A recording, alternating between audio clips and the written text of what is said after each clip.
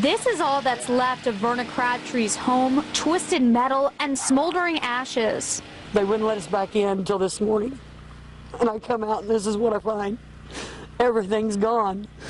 38 years of my life down the drain. Her family and dogs made it out safe. Now she's left with a pile of charred memories she can't replace. It's a horrible feeling. Standing back watching it burn from the highway, not knowing what goes and what don't. You could see the houses when they would go. Because the sky would light up red and then turn black, black.